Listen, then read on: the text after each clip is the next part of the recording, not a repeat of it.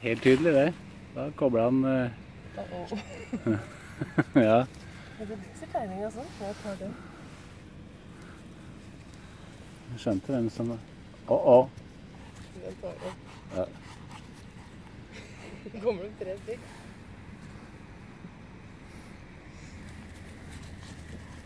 Jeg er sikker på at jeg ikke kan eh, skade dem.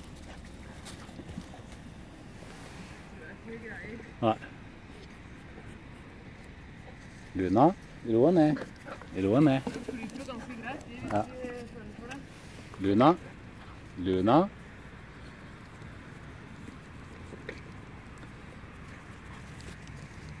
Luna.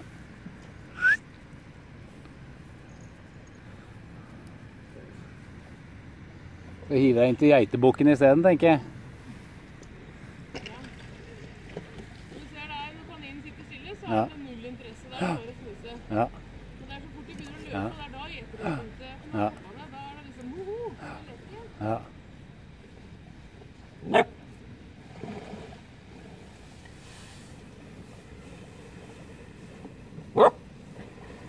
Det.